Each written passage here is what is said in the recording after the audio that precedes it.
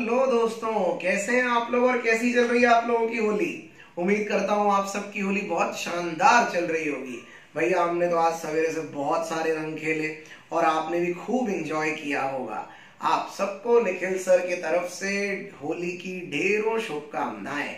वैसे, हम आपसे जुड़ने का कभी कोई मौका नहीं छोड़ना चाहते। एक और जहाँ हम चाहते हैं कि आप खुश रहें, वहीं दूसरी ओर हमें आपके स्वास्थ्य की भी बहुत चिंता है दोस्तों। इसीलिए आज के ज्ञानबाजी के खास अंक में हम आपके लिए लेकर आए हैं एक विशेष टॉपिक जिसका नाम है कोरोना वायरस। यस आज के इस वीडियो में मैं आप लोगों को स्पष्ट करना चाहूँगा कि कोरोना वायरस क्या है, कोरोना वायरस फैलता कैसे है, कोरोना वायरस दुनिया भर में इस वक्त किस तादाद पर फैल चुका है और इससे बचने के लिए क्या करना चाहिए। जल्द से जल्द इस वीडियो को लाइक करें, शेयर करें और जितना हो सके उतना लोगों में इसको बांटे। चलिए दोस्तों without wasting time let us get to the work what is corona virus असल में कोरोना वायरस वायरसेस की एक फैमिली का नाम है। It's a group of virus corona virus की सतह पर छोटे छोटे स्पाइक्स होते हैं जो कि किसी राजा के मुकुट की तरह दिखते हैं। इसीलिए कोरोना वायरस को हमने नाम दिया है कोरोना, क्योंकि ये देखने में किसी मुकुट की तरह दिखता है। कोरोना वायरस को सबसे पहले 1960 में देखा गया था। कोरोना वायरस को हमने चार अलग अलग कैटेगरीज में बांट के रखा है, जिसे हम अल्फ़ा, बीटा, गामा और डेल्टा, इन चार कैटेगरीज के नाम से जानते हैं।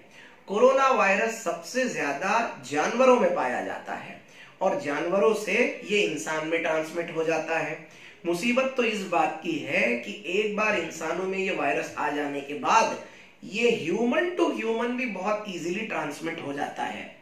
दुनिया में कोरोना वायरस के अलग अलग प्रकार के वायरसेस हमने पिछले 20 सालों में देखे हैं। आई I मीन mean, उस फैमिली के अलग अलग वायरसेस हमने देखे हैं।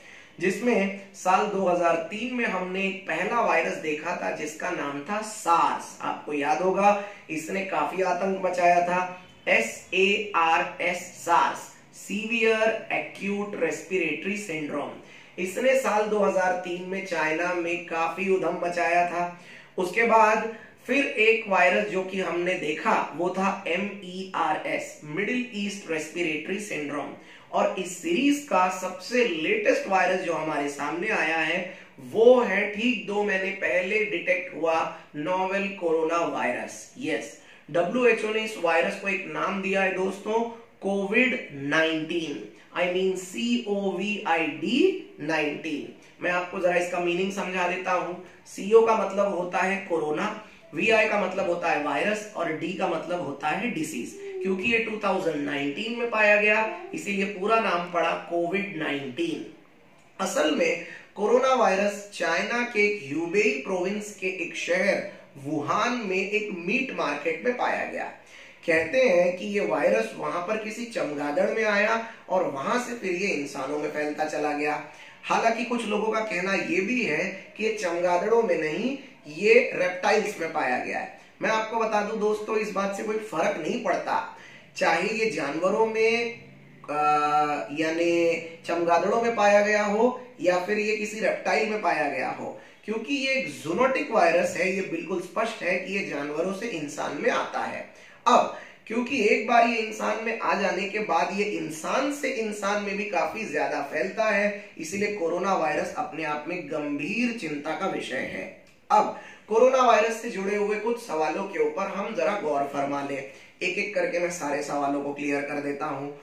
सबसे पहला सवाल जो इस वक्त दुनिया भर में उठ रहा है कोरोना वायरस पूरी दुनिया में कितना फैल चुका है? कोरोना वायरस के कितने पॉजिटिव केसेस दुनिया में हैं? और कोरोना वायरस की वजह से कितनी मौतें हो चुकी हैं? वेल well, चिंता का कारण तो है।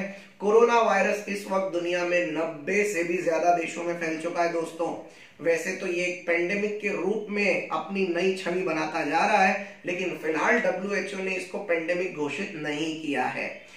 कोरोना वायरस के कुल मिलाकर आज के डेट में एक लाख पंद्रह हज़ार कन्फर्म केसेस पाए गए हैं, और जिनमें मौतों की तादाद तीन हज़ार से भी ऊपर है।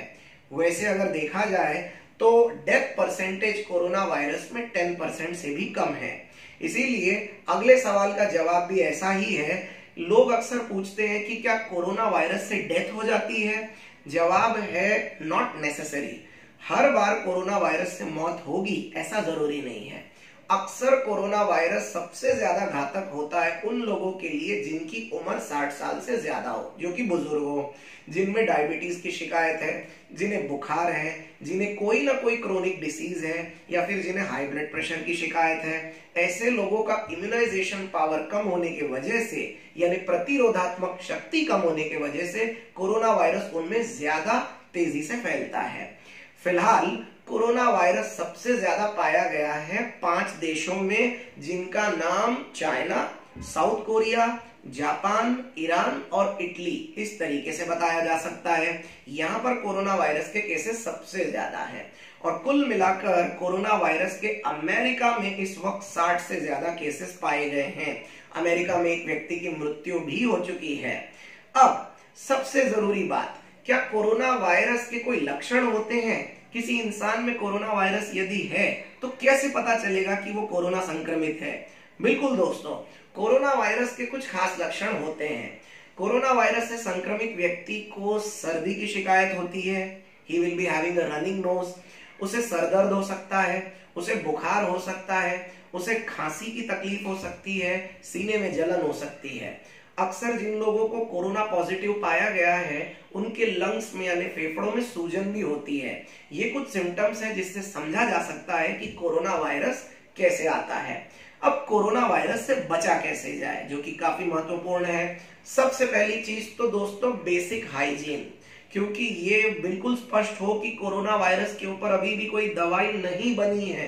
कोई वैक्सीन अभी भी तैयार नहीं हुई है, इसीलिए इसीलिए prevention is better than cure बहुत ज़रूरी है कि हम अपने आप को साफ़ रखें और संक्रमित लोगों से दूर रखें, ताकि हम में यह संक्रमण ना आए। सबसे पहली चीज़ तो ये कि अपने हाथ को कम से कम दिन में पाँच बार साबुन से रगड़ रगड़ कर धोएँ, ताकि किसी भी प्रकार का कोरोना संक्रमण आपके हाथों के रास्ते से आपके शरीर के अंदर ना प्रवेश कर जाए। दूसरी चीज़, यदि आपको किसी भी प्रकार से खांसी या फिर रनिंग नोज़ की शिकायत है तो प्लीज़ मास्क पहनने से ना हिचकिचाएँ और मास्क का पूरा उपयोग करें, ताकि आपके वजह से ये संक्रमण किसी और में ना फैले और दूसरे लोगों तक ना जा पाए। तीसरी चीज़, हो सके तो नमस्ते कल्चर अपनाते चले और कुछ दिनों के लिए लोगों से काफ़ी क्लोज संपर्क में ना आए। हाथ मिलाना, गले लगाना, इस तरह की चीज़ों को अगर आप अवॉइड कर सकते हैं तो ये काफ़ी सुरक्षित माना जाएगा। अब एक और बात कर लेते हैं कि कोरोना वायरस के वजह से फ़िलहाल दुनिया भर में कितना नुकसान हो चुका है। वेल well, दोस्तों अर्थव्यवस्था पे कोरोना वायरस की एक ज़बरदस्त मार पड़ी है हम ये कह सकते हैं। माना जा रहा है कि कोरोना वायरस इस बार अपने चपेट में वन ट्रिलियन डॉलर्स की संपत्ति का नुकसान करेगा। यानी कुल मिला के एक खरब डॉलर्स का नुकसान कोरोना वायरस के वजह से पूरी दुनिया में हो सकता है। भारत में जितनी सॉफ्टवेयर कंपनीज़ हैं, माफ़ करना सॉफ्टवेयर नहीं इलेक्ट्रॉनिक कंपनीज़ जितनी हैं, जिन्हें अपने इलेक्ट्रॉनिक उपकरण चाइना से लाने पड़ते हैं, उनको एक भारी नुकसान उठाना पड़ेगा। क्योंकि जितने भी इलेक्ट्रॉनिक उपकरण हैं, वो चाइना से आ रहे हैं और चाइना से शिपिंग पूरी बंद हो चुकी है। इसके लिए इस बार के क्वार्टरली लॉसेस थोड़े हैवी हो सकते हैं।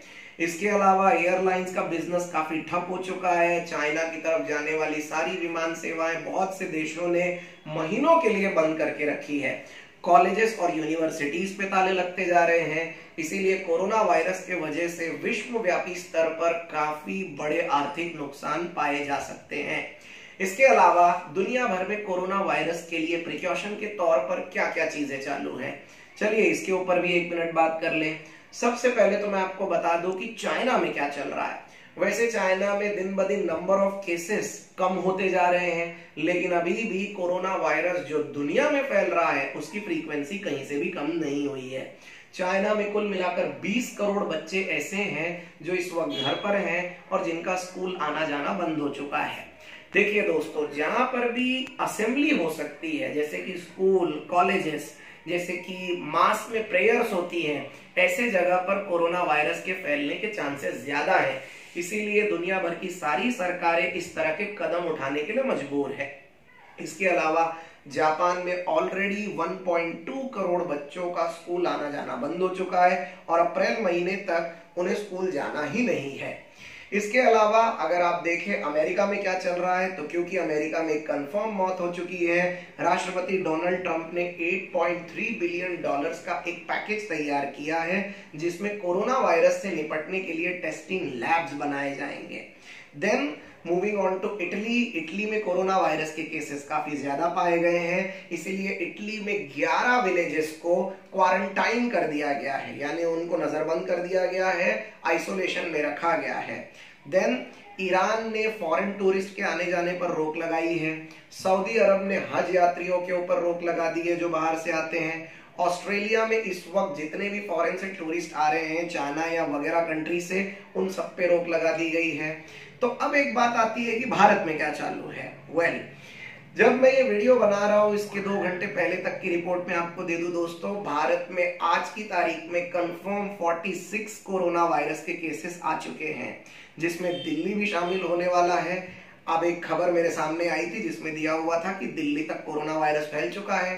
देन जम्मू कश्मीर में कोरोना वायरस का कंफर्म केस आ चुका है। लद्दाख में देखा गया है, तमिलनाडु में और केरला में देखा गया है। इसलिए ज़रूरी है कि हर किसी के लिए प्रिकॉशन अपने अपने लेवल पर ज़रूर बरता जाए। अब इसमें एक और बात जो समझने वाली है, वो ये कि कोरोना वायरस के लिए भविष्य में हमको अब आगे क्या करना चाहिए। देखिए दोस्तों, सबसे ज़्यादा ज़रूरी है कि आप अवेयर रहें और जो जो बेसिक पैरामीटर्स हैं, जो कि आपको अपनाने चाहिए, जैसे कि हाथ रेगुलरली धोते रहें मास्क पहनते रहें, लोगों से जरा सी तीन या चार फुट की दूरी बनाए रखें ये प्रिवेंशन ही आपको कोरोना वायरस के केस में बचा सकता है। दुनिया भर की अफवाहें भी उड़ाई जा रही है। बहुत से व्हाट्सएप के मैसेजेस ऐसे हैं जिसके वजह से कोरोना वायरस को लेकर लोगों की समझ में एक कंफ्यूजन पैदा हो रहा है। मेरी सबसे विनती है कि आप सतर्क रहें और सही जानकारियों पर विश्वास रखें। वीडियो पर अंत तक बने रहने के लिए धन्यवाद।